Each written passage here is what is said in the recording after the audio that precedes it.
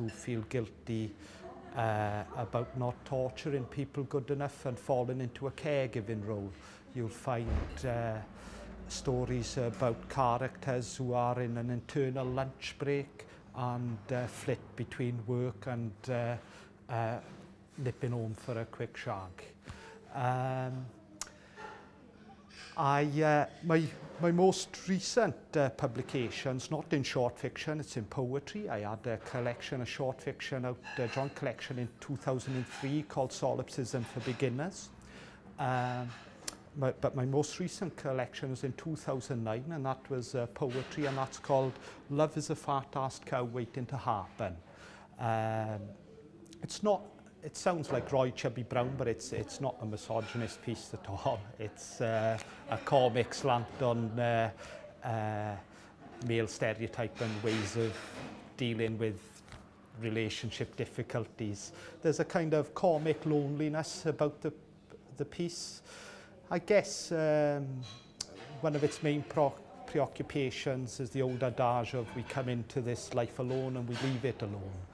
Uh, and uh, there's a lot about existential solitude in it uh, with a with a comic slant. It avoids gravitas um, uh, but doesn't avoid seriousness.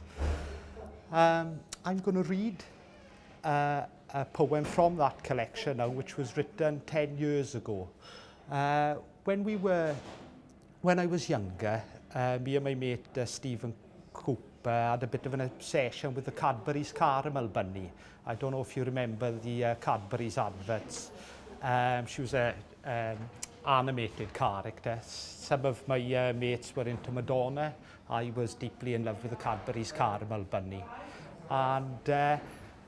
a couple of difficult relationships down the line, I found myself reminiscing upon an old love, and uh, this is about that. And it's called Me and the Cadbury's Caramel Bunny. All right, she had big ears and buck teeth. It might have been a fetish for fur, not been able to tell whether she was completely naked or fully clothed. She was hard to pin down, half human, half animal, half camera. We got on well. I'd pull away when Val would sob, and after a heavy night of understanding, I'd nip downstairs and elope with my rabbit woman. We never delved any deeper than she'd given up the pastoral shit and gone into film. I'd given up the human shit and gone into bunnies.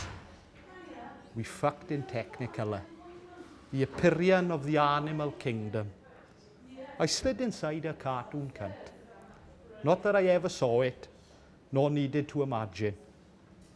Because if you wanted it enough, it fitted like a glove.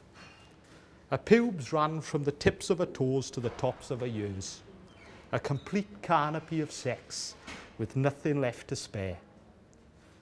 Back in the flesh and under the blankets, I'd made us a nice pot of tea. Val looked a lot better. She'd had a roll in the hay with Deputy Dog, no doubt. It's nice to be fooled for a while. But the great thing, the best thing about fooling around with a six foot rabbit woman is you don't take each other too seriously.